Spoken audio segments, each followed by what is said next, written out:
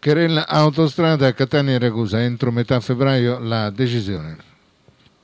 Riflettori puntati al prossimo incontro del CIPE che dovrebbe tenersi entro i primi 15 giorni di febbraio. Nel corso di quella riunione del Comitato interministeriale per la programmazione economica si dovrebbe avere un orientamento definitivo sulla Catania-Ragusa e sulle questioni ancora non risolte che riguardano la cessione del progetto esecutivo dell'arteria dalla concessionaria SARC di Torino all'ANAS. Una questione che era già stata affrontata dalla delibera del Comitato del 1 agosto scorso che è stata pubblicata solo mercoledì in Gazzetta Ufficiale. Nel decreto si prevede il passaggio ad ANAS al punto 6 in attesa della costituzione di un'apposita società di scopo tra governo e regione siciliana con capitale interamente pubblico che rilevasse il progetto in questione.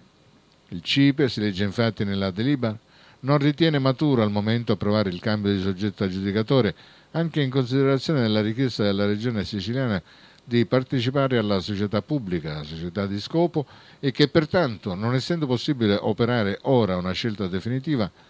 viene rimandata al primo CIPE utile la decisione sul cambio di soggetto aggiudicatore al fine di poter verificare concretamente la possibilità di creare in tempi brevi la società di scopo fra ANAS e Regione siciliana o Consorzio Autostrade Siciliane ipotesi preferita dalla Regione siciliana, oppure di effettuare il cambio del soggetto aggiudicatore in favore della sola ANAS, come previsto dall'attuale accordo SARC-ANAS, al fine di permettere a quest'ultima di acquisire il progetto con tutti i suoi pareri e autorizzazioni, velocizzando l'iter approvativo del progetto definitivo e rimandando a un secondo momento la costituzione della società di scopo.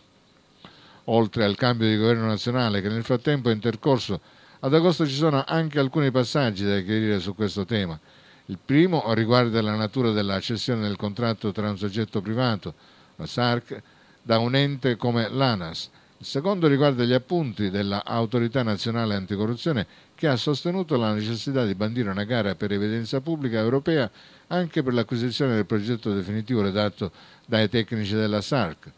Il governo nel decreto mille proroghe ha previsto un possibile affidamento ad ANAS delle concessioni autostradali, specie in vista delle decisioni che il Consiglio dei Ministri potrebbe intraprendere sulla revoca delle stesse.